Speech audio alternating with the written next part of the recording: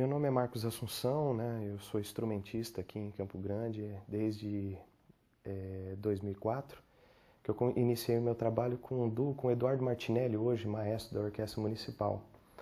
E eu venho desenvolvendo aqui no estado esse trabalho, né?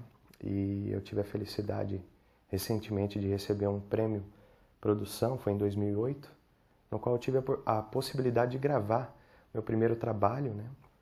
É, e eu fiz um CD totalmente autoral nessa linha de música instrumental, na linguagem de na linguagem brasileira, né, dos ritmos, vários ritmos brasileiros, toda uma pesquisa que que eu venho desenvolvendo de lá para cá, né, eu acabei gravando esse trabalho. E hoje eu estou aqui apresentando para vocês um pouco desse trabalho, desse repertório, e também um repertório de outros compositores, porque eu sempre trabalhei com, com arranjos inéditos em obras de outros compositores também.